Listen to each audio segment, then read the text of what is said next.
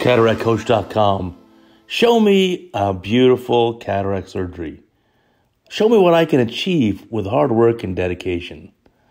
This is just a routine case here. We're putting in anesthetic. We've just made the paracentesis. The patient takes Flomax, so you can see there's a little bit of issue there with the laxity of the iris finger tone. Here's our dispersive viscoelastic going in. Nice fluid wave, really coating that endothelium. That looks great. Beautiful red reflex here.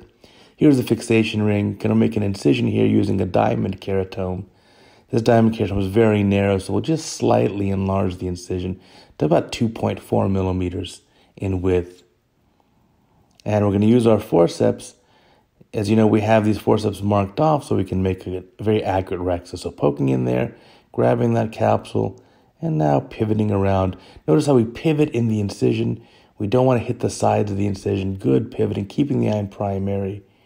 And it's that pivoting and circular motion that really allows us to create that nice rhexis. That was just using the tips again to measure, and we can confirm this is the correct 5 millimeter capsular rhexis. There it is. Exactly 5 millimeters. We'll do some hydrodissection here. Good fluid waves. I'm watching for the first wave. There's a partial wave. That's a good wave. Another good wave. That looks really good. And I like it to rotate, and there it rotates beautifully. As you know, I like to always recoat the central endothelium with a little more viscoelastic. And now the phaco probe is going in the eye. It's going to be a high vacuum, so at least four or 500 millimeters of mercury, high flow, 40 cc's a second. Buzz in with a phaco probe in the chopper. We can split the nucleus into two halves. And now we can even sub-chop each half to have quadrants. And so we'll use phaco power modulations to minimize the total amount of energy used here. This will be a bare minimal amount of ultrasonic energy in the eye. And again, by doing very efficient surgery, even though we have 40 cc's a minute going through the eye, the total amount of fluid we put through the eye is very low. And so this is a case that for sure the cornea is going to be absolutely clear the very next morning. There's going to be no corneal edema here. There's the last piece. Notice the chopper position protecting that capsular bag. We do not want that capsular bag to touch the phaco tip. That looks great. And we'll switch over to the cortex removal and the IA probe. Let me remind you this time, check out cataractcoach.com. We have a lot more material than you'll find here on YouTube. Definitely appreciate our thousands of YouTube followers, but there's actually more and better material on cataractcoach.com. Check it out. So cortex removal, of course, here is very quick and efficient. There's a little last bit of it. We can polish up the capsular bag here with the IA tip, and that looks great.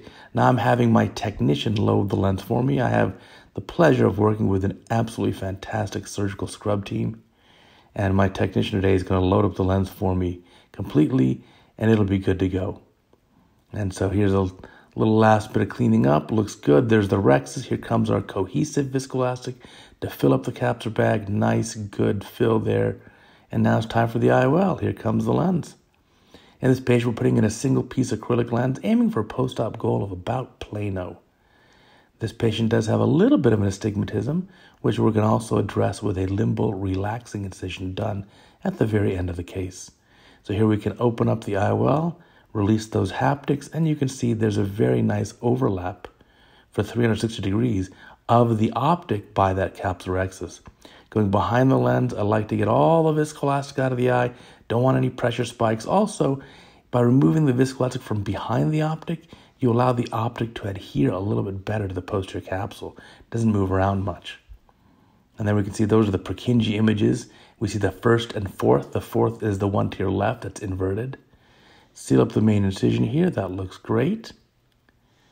And then go through the side port, do a little bit of a reposition of the lens, and then seal this up. And then you can see those are the overlap of the Purkinje images. Looks great.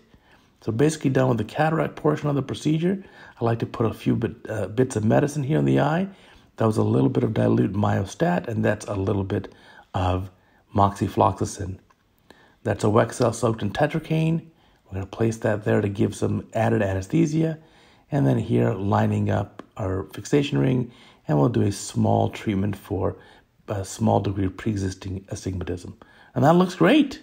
So thanks for watching. Always fun to see a beautiful cataract case.